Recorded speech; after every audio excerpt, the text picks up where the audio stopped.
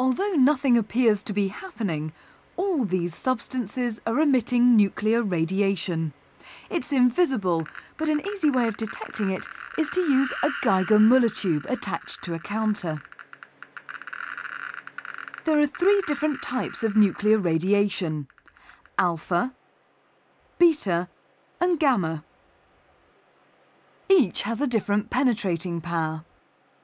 So how does alpha radiation behave? This is an alpha source. At this distance, the count rate is about 500 per second. Place a thick sheet of paper in its path and all the alpha radiation is absorbed.